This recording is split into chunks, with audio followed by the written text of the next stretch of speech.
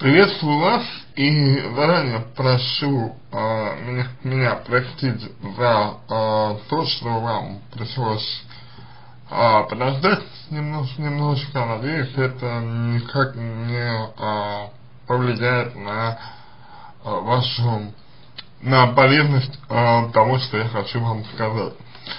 Я внимательно прочитал э, все, что вы написали, и а, могу ли могу э, сказать, что есть, на мой взгляд, э, как минимум, на мой взгляд, есть э, три основных э, момента, которые мне хотелось бы обсудить с вами.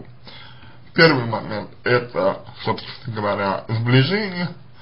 Э, то есть вот вы знакомы с человеком, как вы написали, да, э, три года уже, но при этом э, за эти три года э, начали сближаться вы только сейчас, э, как я понял из ваших слов, по крайней мере, э, так получал, получал, да, что вот вы э, только сейчас начали э, встречаться.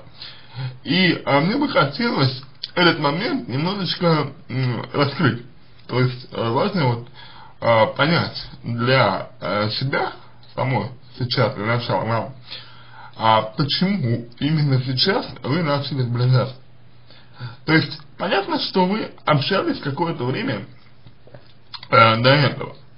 Понятно, что ваше общение было, ну, таки, таким, скажем, если не совсем э, близким, не совсем э, активным, то оно было. Вы общались достаточно э, стабильно, хоть и, э, ну, э, периодами, да, вот. Значит, этот момент, э, мне кажется, важным. Почему? Э, вот как вы сами для себя э, думаете, э, почему вы начали общаться более тесно? То есть, вот вы здесь э, пишете, что э, значит, вот э, в этом году все началось еще с конца зимы но основное общение происходит на весну, несмотря на то, на учебу вы гуляли. То есть все началось с зимы. Вот как вы думаете, а почему так произошло, а что послужило изме изменением? А, изменения в данном случае, они вам а, помогут понять лучше, а, что человеком двигает.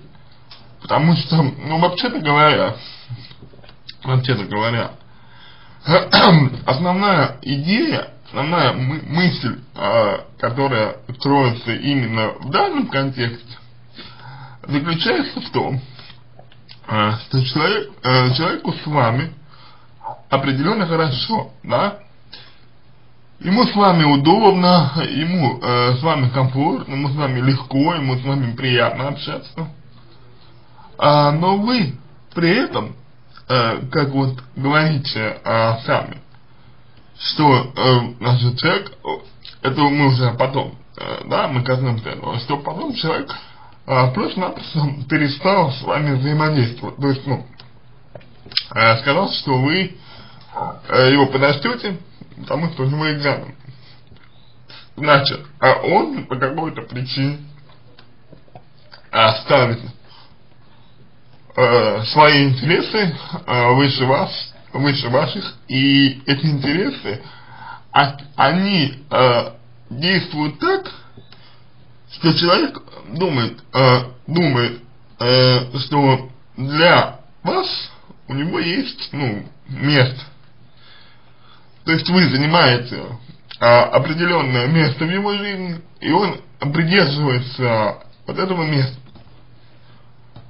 он придерживается этого места и э, когда ему удобно, когда ему выгодно, когда ему комфортно, да, он с вами общается. А когда нет, э, он ничего не делает. И на первый взгляд кажется здесь, что человек такой вот плохой, что человек вот так вот вас э, как ну э, меньше испытывает к вам э, чувств, да, чем, чем вы к нему, например. И с одной стороны, на первый взгляд, это кажется, ну, действительно так, потому что а, вот как так, да, вы ради него делали кучу всего, а он, он, он вот так себя ведет. Но с другой стороны, а, дело в том, вот, что а, по вашему описанию получается так, что вы а, самостоятельно с человеком начали общаться а, в таком ключе. То есть вы сами а, приняли решение для себя а, так вот делать. Решение это, оно не то, что какое-то неправильное, или оно не то, что какое-то вот а, прямо, скажем, а, глупое. Это решение, которое мы приняли сами, самостоятельно. И вам э, за это решение нести ответственность. Основная проблема э, заключается в том, что вы э, думаете, вы считаете, полагаете, что если э, вы сами для человека э, что-то делаете, такое, причем, что он даже об этом не подозревает, например, вот, что вы там а, и, и, и кушали быстрее, да, и что вот а, спешили, торопились и так далее. А, а, так вот, а, собственно говоря, основная проблема заключается в том, что вы считаете, а, что человек, вот только потому, что вы а, для него делали, делали вот это все, а, вам что-то должен, вам что-то обязан. То есть вы через а, призму своего отношения считается, что к вам человек должен относиться так. Этот момент, мне кажется, не совсем верный, не совсем правильный.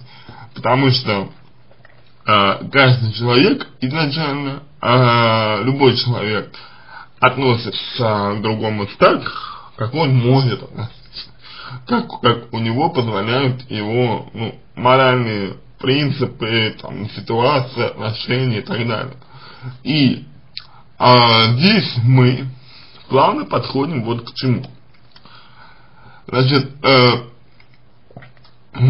вы ничего не пишете о своей жизни э, до него. Вы ничего не пишете о том, э, ну, о себе. То есть, как вы э, все вот это вот переживаете, как вы э, себя вели до, э, значит, э, начала отношений с ним, было, было ли у вас, были ли у вас еще отношения, вы об этом ничего не пишете. Поэтому существует а, некая, некая вероятность погрешности а, того, что я вам а, могу сказать, но тем не менее. Значит, а ситуация заключается вот в чем. А, исходя из того, что вы вот на протяжении трех лет общались с человеком, а, вас устраивало такое общение. То есть а, вам, видимо, нравилось общаться с ним, вы испытывали к нему определенную симпатию, но а, эта симпатия была а, недостаточно мощной для того, чтобы вот а, откровенно уже начать, грубо говоря, встречаться. То есть у вас есть определенный процент, определенные элементы робости эта робость а, мне показалась еще в первом вашем а, сообщении, в первом вашем а, вопросе, который вы задавали еще публично. Почему? Потому что обычно а, человек, который отдает а, себе достаточно полный, серьезный отчет в том, э, что он чувствует, заостряет внимание на таких вещах, как, например, вот, э, важный негатив в отношении него, да, злость и так далее.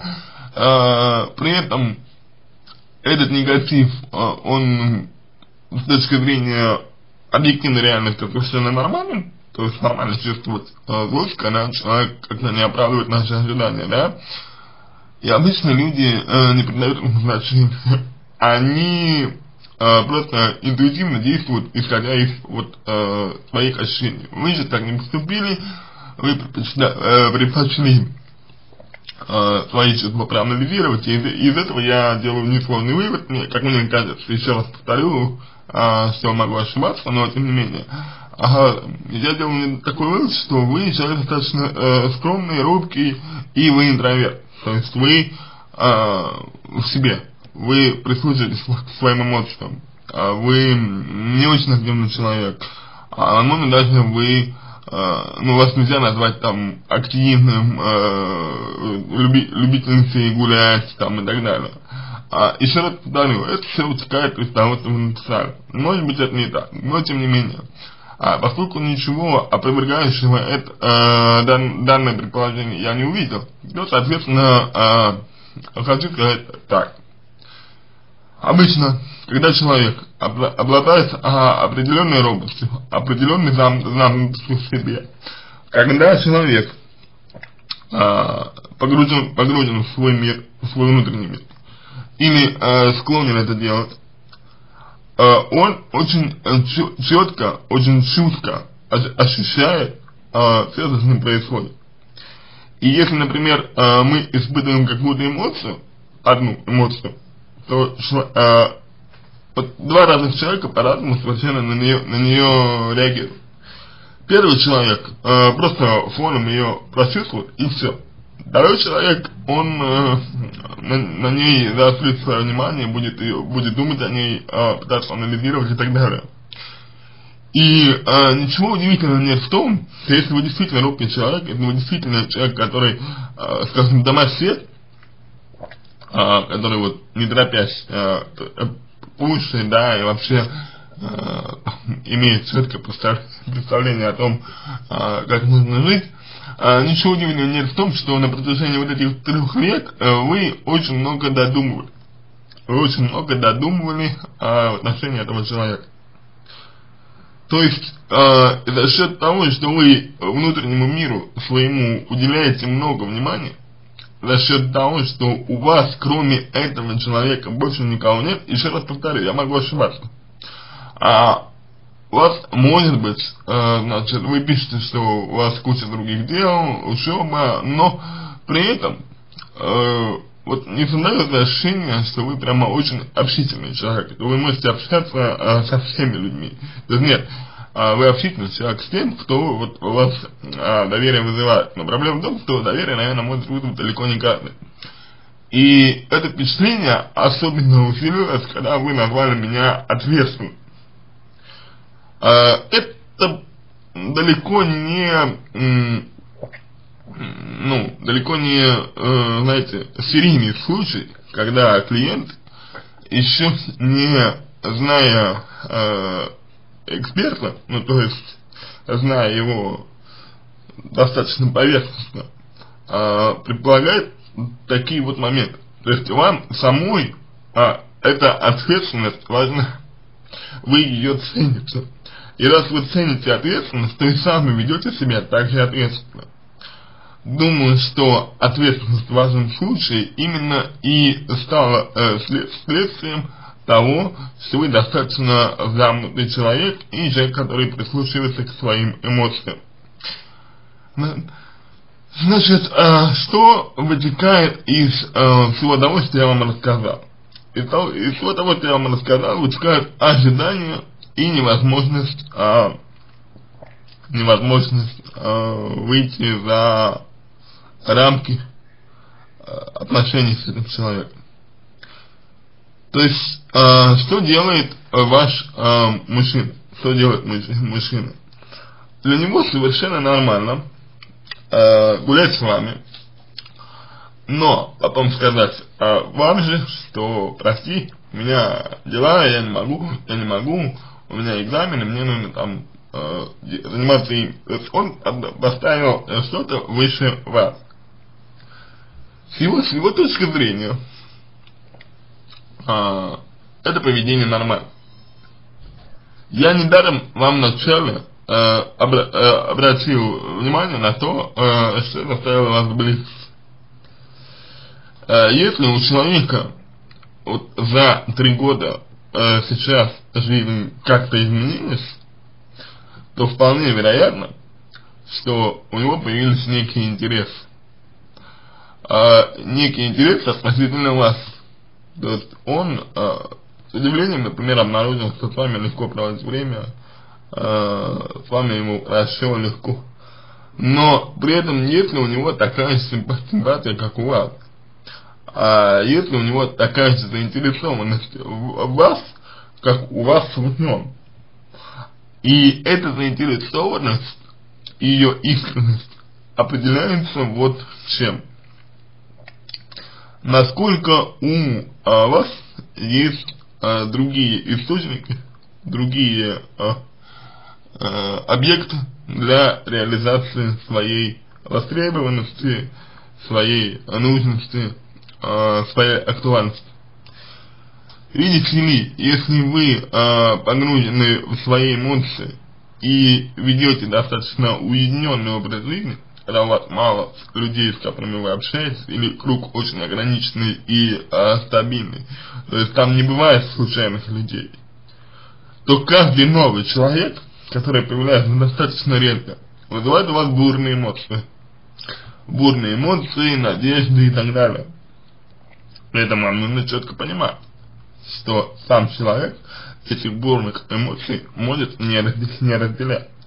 Для того, чтобы определить, разделяет человек эти эмоции или нет, нужно достаточно, э, можно достаточно ненавязчиво расспросить его о том, э, что он делает, чем он занимается, какой его круг общения э, и, собственно, какой его досуг. Если вы видите, что человек общительный, что человек экстраверт, человек направлен на внешний мир – это означает, что он очень, очень активный.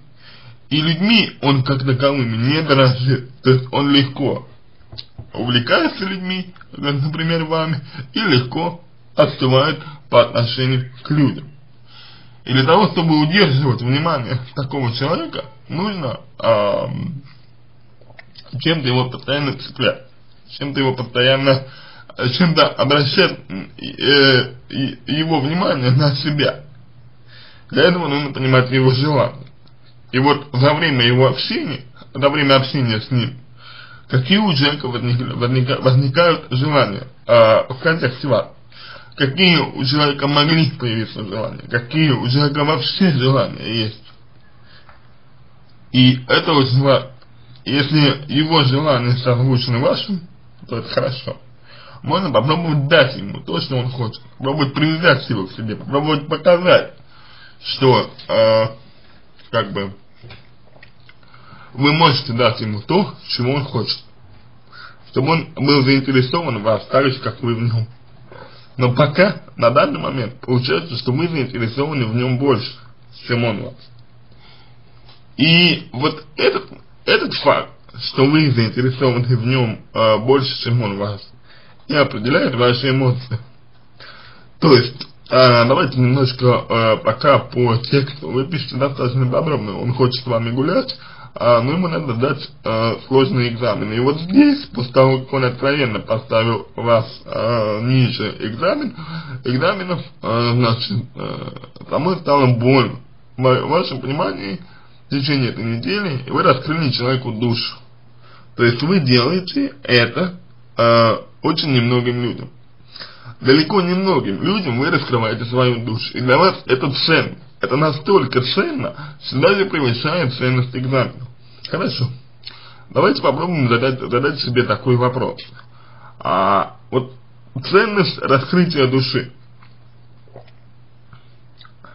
она была э, осознанно осознаваема другим человеком когда вы раскрывали душу, э, человек понимал, насколько это вам важно? Или вы делали важное э, для себя? Э, вы сделали что-то важное для себя, но при этом, при этом человек даже не замечал, что вы э, с ним самым сокровенным. Очень важно здесь понять, э, отдавал ли себе отсчет человек в том, мужчина, а, что происходит. Вот, например, когда вы пишете мне, это я для примера вам, вам говорю, вы пишете мне свою проблему.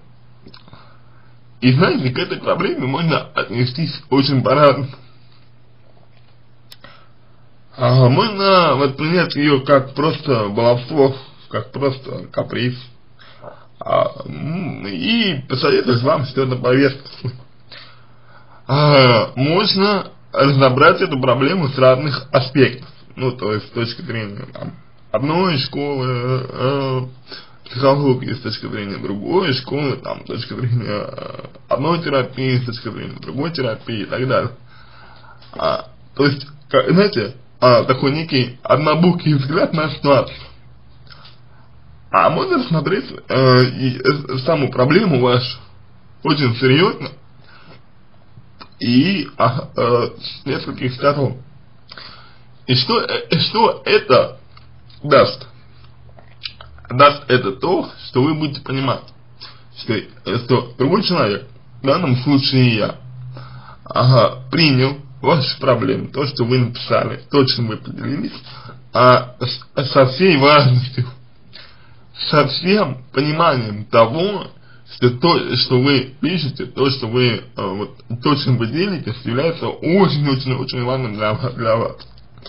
А бывает как? Вот э, человек, ну, собеседник, спрашивает, как у нас вообще дела? Потом задает вопрос, как дела? Ну, мы по наивности думаем, что человек интересуется нами. Мы начинаем ему рассказывать. Мы говорим, говорим, говорим, говорим, говорим. Человеку э, делится, это очень важно для нас все. Человек говорит, ага, понятно. Ну хорошо, я пошел спать. В этот момент, я думаю, а, ну, в этот момент в нашем примере а, а, наш а, субъект, наш, а, так сказать, об, образ личности испытывает те же самые чувства, что и вы. То есть э, ощущение, что вас бросили, ощущение, что вас не оценили, ощущение такой, знаете, опустошенности, ощущение такого, э, такой пустоты внутри, внутри. Ощущение, что вы поделились чем-то важным, а это ушло просто в никуда. Для вас что-то изменилось, для вас стало другим, вы человеку доверили что-то очень ценное, а человек взял и обесценил то, что вы ему дали. И вам, и вам становится безумно обидно. Безумно обидно и жалко, что э, потратили время на этого человека. И на э, первый план выходит всегда вот какая эмоция. Злость на того, кто ушел спать. В нашем примере. И в вашем случае это на того, кто предпочел экзамены вам. Да. А, так вот, на первый э, план выходит вот. Почему? Почему обидно, почему больно? А, почему неприятно? А, почему нас вообще задевает что? А задевает нас вот почему. Мы до чем-то поделились, и а, мы для чего, для чего делились? Мы для чего а, душу свою раскрываем человеку? Чтобы он а, дал какую-то обратную связь, правильно? Чтобы он оценил как-то то, что мы говорим. Мы хотим внимания, мы хотим оценки, мы хотим, чтобы нами дорожили. И этого не происходит. По какой-то причине, ну, по причине человека, естественно. И возникает вопрос, вот человек не оценил а, то, что мы а, ему сказали. В каких случаях а, это можно было воспринять спокойно? То есть абсолютно равнодушно. Это можно было воспринять а, равнодушно в том случае, если у нас, если бы у нас были другие люди, которым мы бы могли довериться. То есть, а, все друзья разъехались, они сам, кто-то, ну, кто-то на, на, на отдых поехал, да, отпуск, кто-то там э, в командировку, и никого нет. И вы знаете, что эти друзья, ну, они сейчас не рядом, а вам хочется с ним поделиться, и вы делитесь этим э, человеком, который вот вам попался. И вы э, не очень-то расстраиваетесь, если он вас не оценил, потому что, ну, вы знаете, что э, всегда найдутся другие люди, которым вы можете, с которыми вы можете э, поделиться данными моментами. А вы, вас это зацепило, вам стало больно, значит, других людей у вас нет, получается. И эти люди не, э, недостаточно, недостаточно вам близки. Либо э, мужчина, с которым вы, вы этим всем делились, которыми, э, которым у вас есть, э, я понял, романтические чувства, значит, э, для вас единственный то есть вы не представляете себе, себе такого варианта, что вот завтра, например, вы э, идете ну, куда-нибудь, в какой-нибудь клуб, например, и э, начинаете уже с другим мужчиной э, общаться так, как с ним. Уже другому мужчине рассказывать о том, что вас беспокоит. И это означает, что вы достаточно э, тяжело воспринимаете, опять-таки, людей, а, воспринимаете их а, ну, в свой круг, а, пускаете их, их к себе, в свой внутренний мир. И из-за того, что вы это плохо делаете, из-за того, что у вас сложно это происходит, из-за того, что для вас как бы пропуск человека в свой внутренний мир это каждый раз событие, событие, и событие достаточно серьезное то э, вы не можете э, найти такому человеку замену. И если вы кого-то принимаете, то вы принимаете этого человека полностью, вы, э, соответственно, ему доверяете. Но это доверие для вас очень ценно, и оно ценно именно в силу того, что оно уникально. И никому другому вы, например, такого сказать не можете, по крайней мере, в ближайшее время. И вы как бы э, до этого человека были, скажем, в одном, в одном положении, э, состоянии, а с этим человеком вы почувствовали себя нужным, вы почувствовали себя не одинокой, и вы начали вот и перед ним раскрываться. Но э, именно раскрытие, э, ваше раскрытие, для него было как раз таки общением нормальным. Для него такое общение, какое э, вы э, ну, которое вы давали мужчине, является абсолютно нормальным. Ничего уникального в этом нет. А для вас то это, это необычно. Для вас это что-то из ряда вон выходящее. И именно поэтому вы испытываете такие ощущения. Именно потому, что у вас э, нет, нету возможности, другие, другой возможности э, реализовать себя в этой же э, сфере. Опять-таки, не совсем понятно из э, вашего текста, если у вас друзья, нет у вас друзей, но тем не, тем не менее. Когда нас что-то задевает, э, когда нам, нам что-то делает больно, э, это означает, что мы сами для себя а, сузили, сузили а, возможный вариант реализации. То есть мы другого варианта реализации не видим. Вот как вы, например, сейчас не видите для себя другого варианта реализации, э, ну, как женщины, как человека, кроме как с этим мужчиной. И, естественно, подобное его поведение, а поведение для, для мужчины нормально, в силу того, что он-то себя может реализовать где-то еще, а вы нет, а, именно в силу этого и является болезненным. Но скажете вы, а как же тогда строить отношения с людьми? А, скажите тогда, например, близятся с мужчинами, если вот а, они так себя ведут, а мне неприятно. Вы знаете, в чем дело? А, отношения строятся с людьми так всегда, что они не должны быть эгоцентрическими и направленными на себя.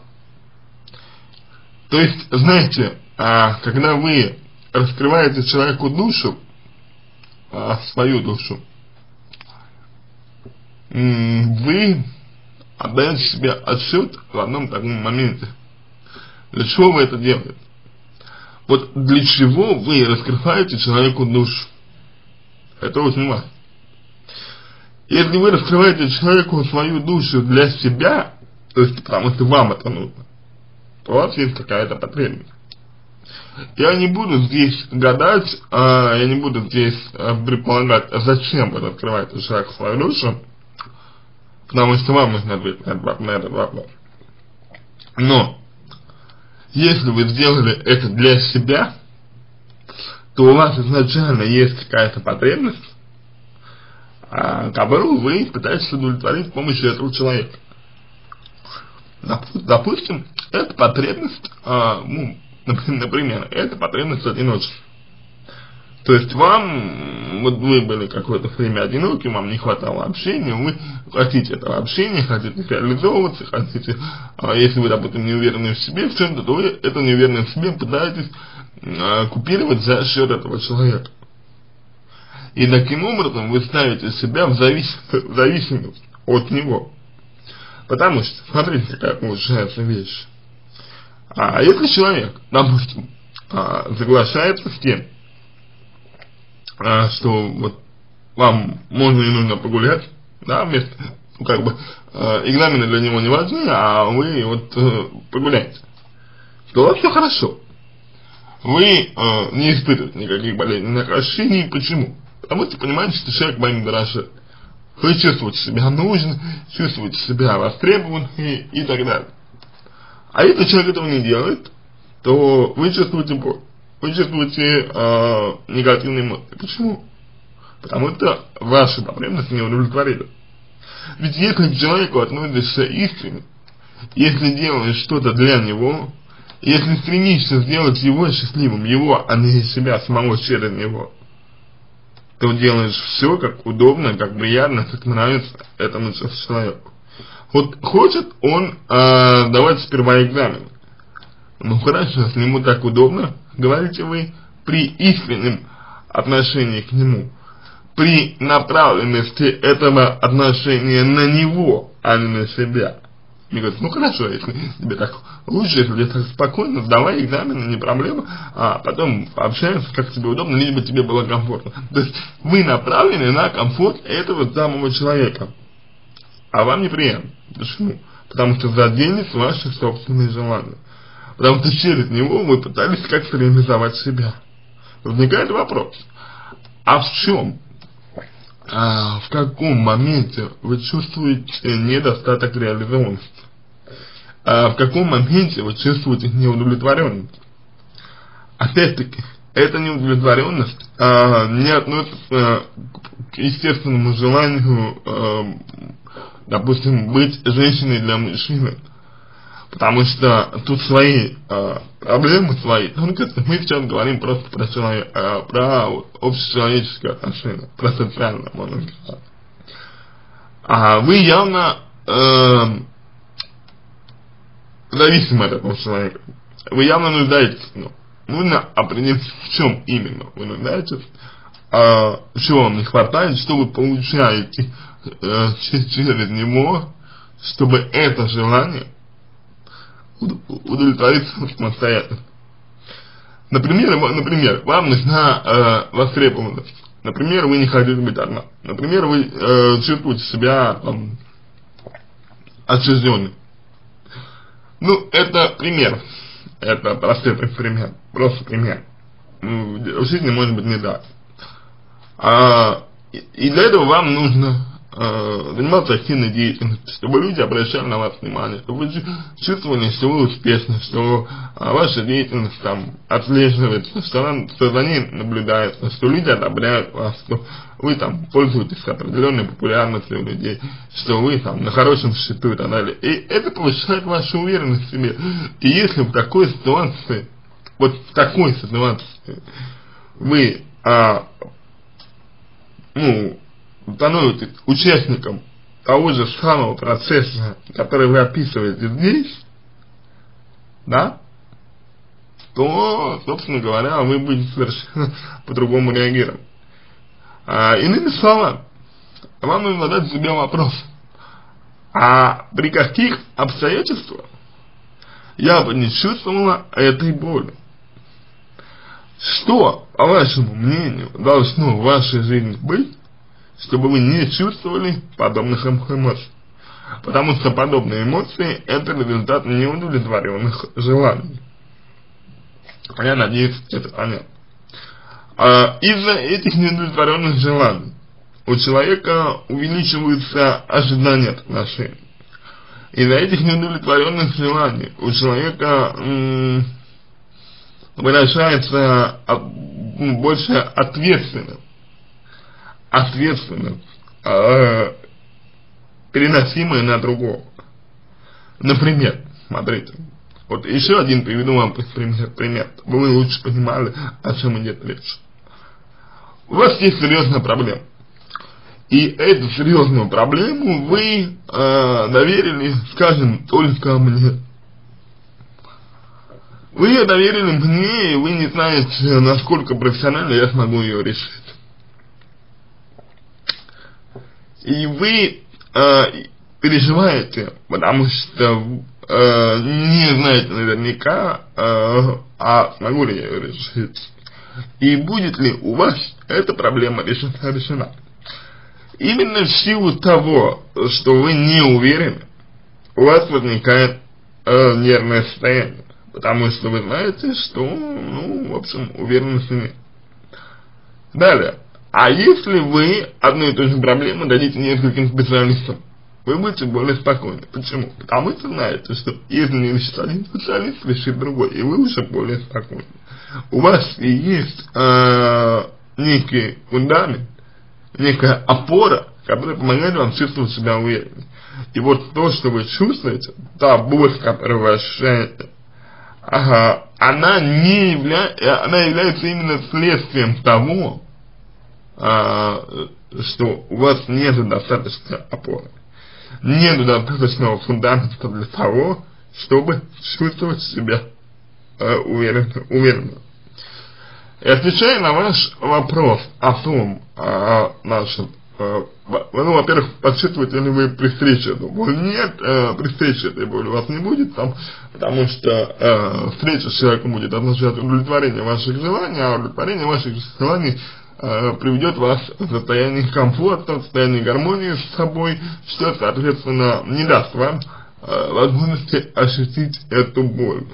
А чувство жизненного человека вы также не выкинете, когда потому что вы слишком ответственный человек сам по себе, и э, не будете этого делать в, в любом случае.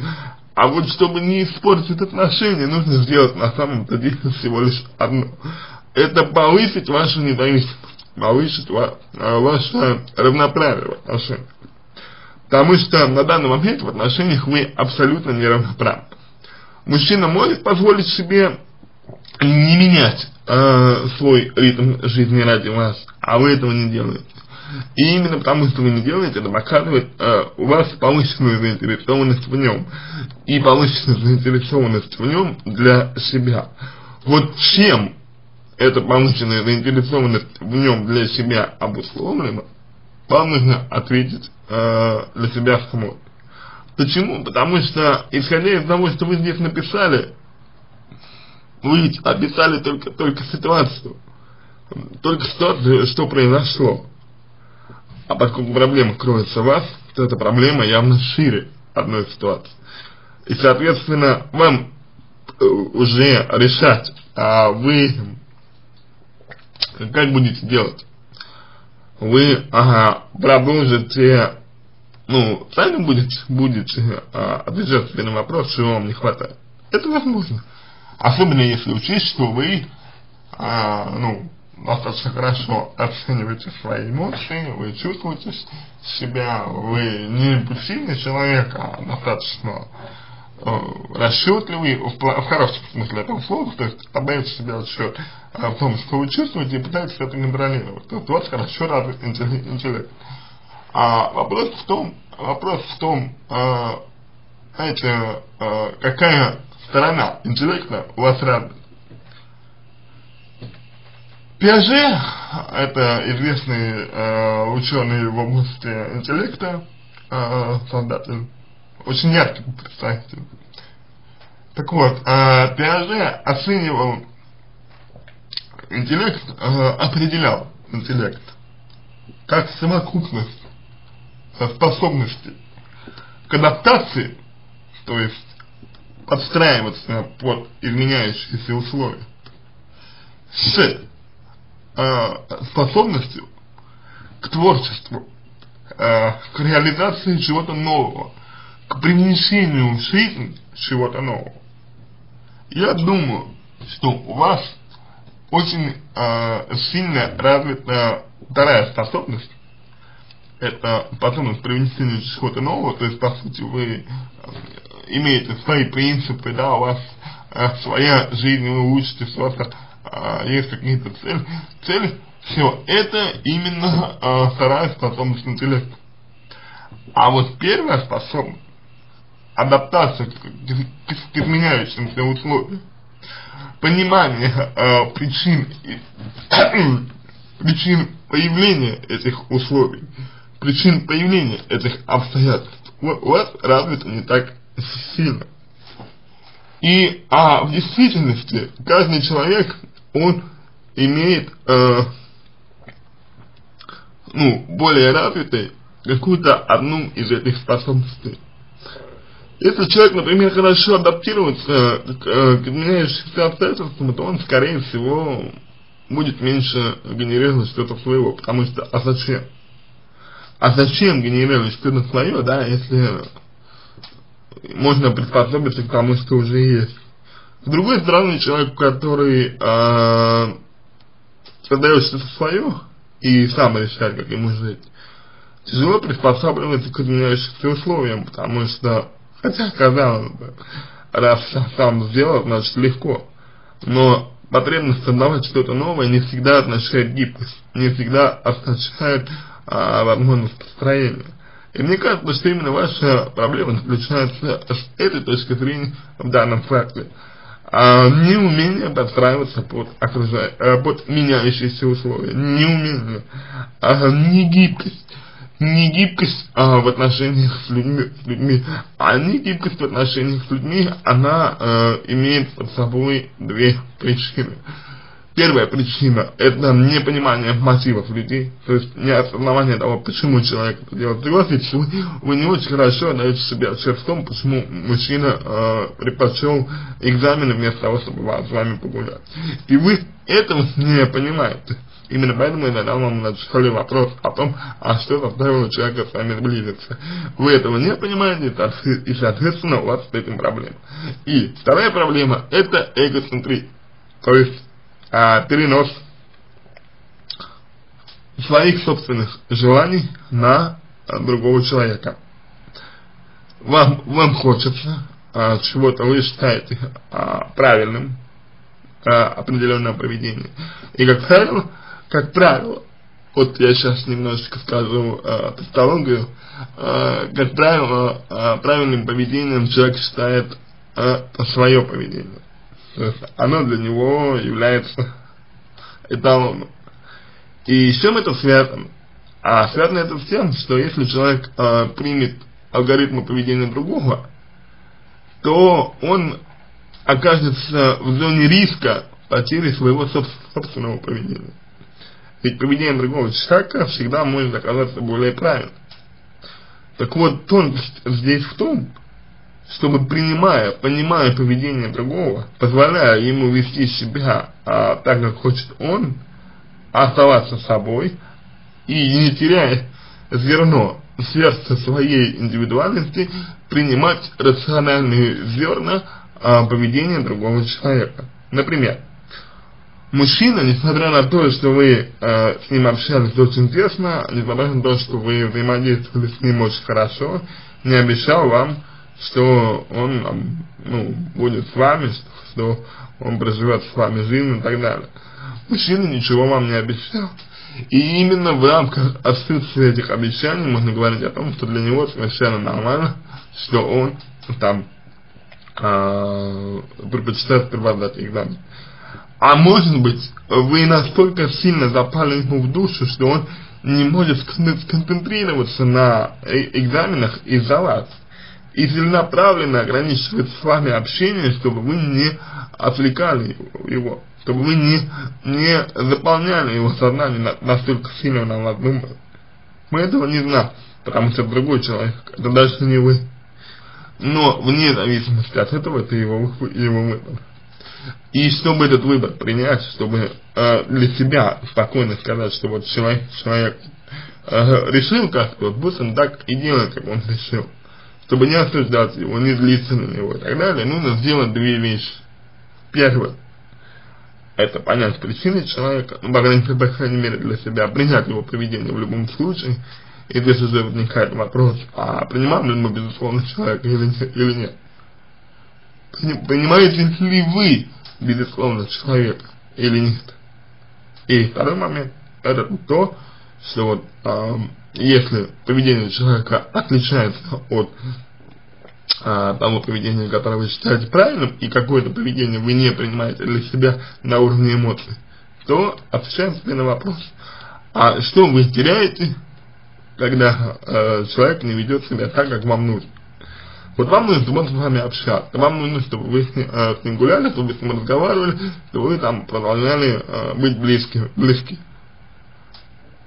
Значит, вам нужно э, кому-то реализовываться. У вас есть какая-то потребность. Вот в этом ключе вам и нужно подумать. Какая у вас потребность и почему вы можете реализовать ее только с этим мужчиной. Еще раз повторю, а, повторю главное, повторю очень, очень важное, что а, отношения между женщиной и мужчиной а, в своем классическом а, варианте это отношения двух равных независимых людей, удовлетворивших или удовлетворяющих все свои способности не через друг друга. Потому что если а, это не так, если ситуация как-то складывается по-другому, то кто-то из, из них обязательно окажется в зависимом положении. И хорошо, если человек, другой человек, удовлетворяет полностью потребности другого. Это прекрасно, это здорово. Такие отношения есть. И люди в этих отношениях живут хорошо. А это неправильно, это может быть не совсем безопасно, но, тем не менее, э, пока человек получает то, что он хочет, вряд ли он будет что-то менять. А зачем? У него и так все в порядке. Но, поскольку вы сейчас испытываете дискомфорт, и этот дискомфорт происходит из-за вашей э, э, более высокой заинтересованности в человеке, чем э, заинтересованность человека в вас, то нужно от этой зависимости избавляться. И разность заинтересованность, э, заинтересованностях, разность, разницу умирать и убирать самостоятельно так, чтобы вы э, не испытывали негативных эмоций.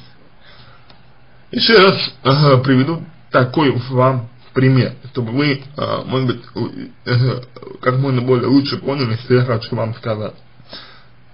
Вот вы заплатили мне деньги. Вы заплатили мне деньги и, э, ну вот, может, можете, наверное, э, представить себе, что какой-то какой человек, например, миллиардер, э, скажет вам, что сумма смешна. Но это смешная сумма для миллиардера. Почему? Потому что у него круговорот средств измеряется миллионами, а то и десятками миллионов. И естественно, что для такого человека и тысяча рублей, и 20 тысяч, и 30 тысяч, это мелочь. И он скажет, что это смешная сумма. И если бы я у такого человека э, попросил бы такую сумму, а он бы даже не заметил. Но другой человек, у которого, например, доход составляет всего э, в месяц, э, скажем, 10-15 тысяч, эта сумма очень-очень ощутима.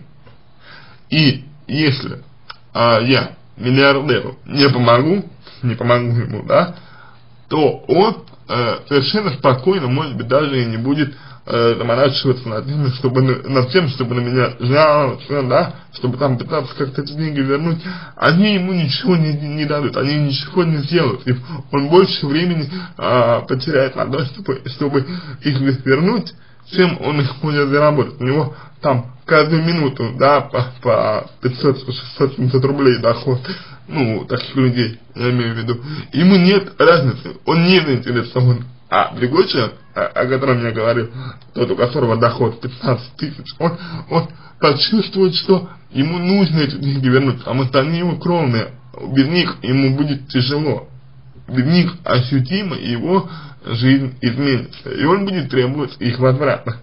Именно этот пример поможет вам лучше понять то, о чем я вам говорю, по смыслу, чтобы вы понимали, что одно и то же обстоятельство в зависимости от потребностей человека, от степени удовлетворенности этих потребностей а, э, воспринимается нами совершенно по-разному. И с точки зрения того, что я говорю, такому человеку, у которого доход 15 тысяч, чтобы не переживать из-за потерянных, э, скажем, ну, в моем случае, 400 рублей, нужно э, зарабатывать больше. Для этого ему нужно повышать свою квалификацию, для этого нужно, соответственно, проходить обучение и так далее. Но проблема в том, что человеку будет, будет проще стараться вернуть эти деньги, чем э, зарабатывать больше. И он даже не понимает, что, в общем-то, а, он эти деньги вернет, хорошо, он их получит, но они не взял ему погоду, он так и так будет все равно продолжать испытывать нужду, потому что этих средств не хватает, чтобы человека полностью, допустим, обеспечить. И для истинного обеспечения нужно все-таки э, кардинально что-то в, в, в жизни менять. Только изменением, кардинальным, качественным изменением можно удовлетворить свои потребности. Вот а, такой ответ а, будет на ваш вопрос. Надеюсь, что у меня получилось а, все достаточно гладко и четко вам изложить. М могут быть какие-то моменты неясны, если не ясны, спрашивайте, отвечу. А, ну а если у вас э, есть желание дальше работать над этим направлением, если у вас желание есть дальше э, как-то разбирать свои проблемы, то, пожалуйста, пишите текст, э, будем работать дальше. Что я вам хочу сказать? И это, пожалуй, главное, и это лучше, лучше сказать голосом, чем э, писать словами. Конечно, а, каждый человек хочет заработать, и я хочу заработать в том числе. А, но, а, вы знаете, мне основная цель это помочь человеку решить свою проблему.